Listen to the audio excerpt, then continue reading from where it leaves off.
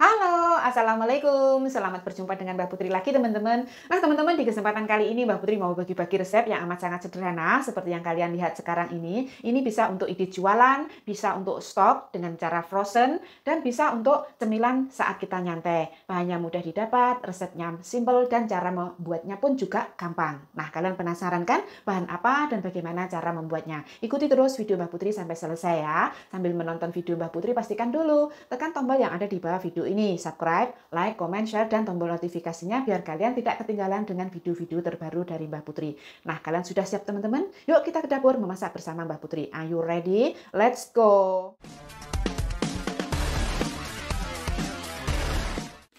Nah, teman-teman, inilah bahan-bahan yang dipakai oleh Mbak Putri untuk membuat dumpling uh, daging ikan. Nah, di sini Mbak Putri sudah menyiapkan bahan-bahannya. Nah, teman-teman perlu diketahui ya, ini bisa untuk usaha, ide jualan, frozen ya utamanya ya.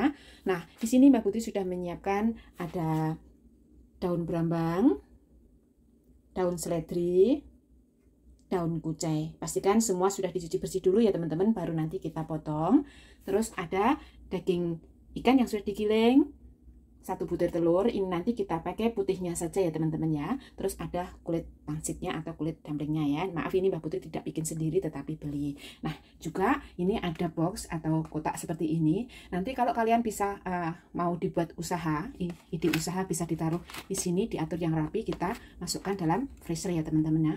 Nah inilah bahan utamanya ya sedang bumbu-bumbunya seperti biasa Mbak Putri memakai bumbu tidak neko-neko, hanya itu-itu saja. Nah, di sini Mbak Putri sudah menyiapkan uh, kecap asin, penyedap rasa atau kaldu. Ini sedikit tepung terigu nanti untuk bahan perekat ya teman-teman ya. Terus ada uh, apa? merica bubuk. Ada minyak wijen di sini ya. Terus gula, dan garam. Nah, teman-teman, inilah bahan dan bumbu yang dipakai oleh Mbak Putri. Untuk lebih jelasnya, kalian bisa cek di kolom deskripsi ya, teman-teman. Yuk, kita langsung memproses saja yuk. Nah, teman-teman, ini bahannya sudah dirajang ya sama Mbak Putri. Ada seledri, eh, daun kucai, daun seledri, dan daun berambangnya sudah dirajang rapi. Sekarang masukkan bahannya. Ini adalah ikan yang sudah digiling. Ya, ikan yang sudah digiling kita masukkan kecap asin. Ya. Terus ini penyedap rasa. Merica bubuk ini sesuai dengan selera kalian masing-masing ya teman-teman ya. Terus ada minyak wijen. Ini juga menurut selera kalian masing-masing menurut tekstur kalian masing-masing ya. Terus ini ada satu sendok teh gula pasir dan setengah sendok teh garam dulu karena sudah ada kecap asinnya ya teman-teman. Nanti kita bisa icip ya. Nah terus terus itu kita masukkan putih telurnya ya. Putih telurnya saja. Ini jangan sampai katut apa namanya kuningnya ya. Habis ini terus kita aduk rata teman-teman ya. Kita campur sampai semua campur ya.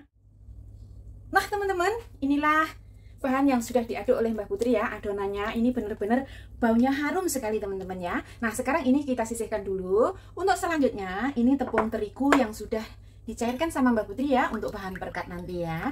Nah ini kita cairkan dulu jangan terlalu encer dan jangan terlalu kental. Nah untuk selanjutnya siapkan satu lembar uh, kulit pangsitnya ya.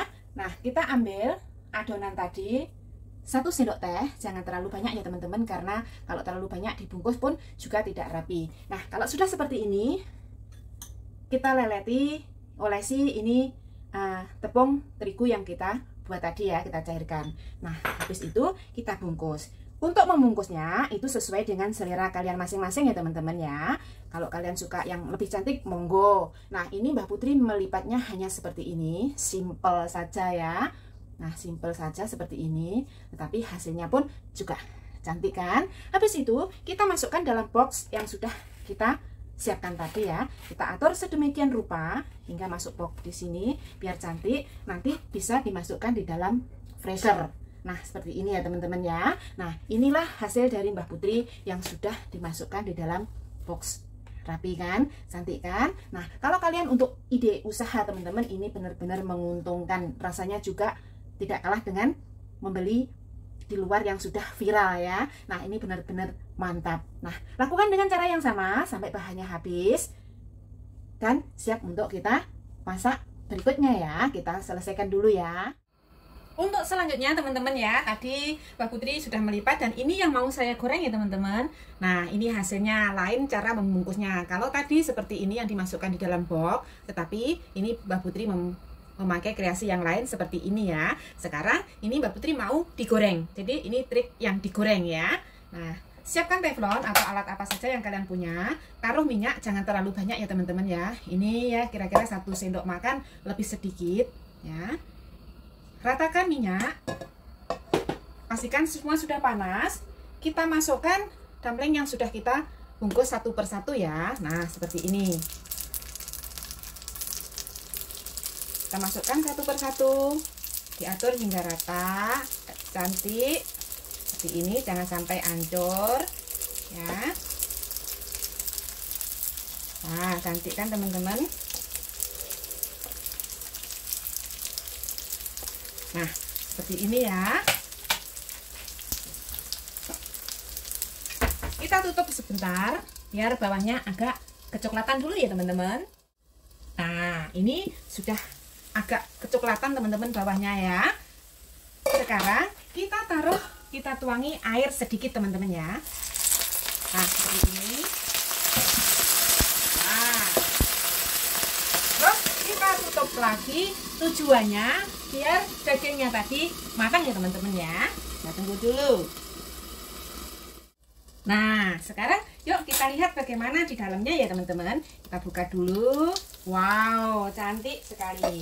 Nah kita lihat dalamnya gimana. Wah cantik sekali teman-teman ya. Sekarang kita balik satu persatu ya. Nah benar-benar enak teman-teman kalau untuk ide jualan benar-benar menguntungkan sekali. Nah kita balik satu persatu biar cantik ya. Jangan sampai rusak ya. Hmm. Oh nah cantik kan warnanya? Sudah dibalik semua. Sekarang kita tutup lagi sebentar teman-teman biar bawahnya agak kecoklatan ya. Baru kita angkat bisa disajikan. Karena dalam sudah mateng. Ya kita tunggu dulu ya teman-teman. Nah teman-teman yuk kita coba kita lihat dalamnya bagaimana.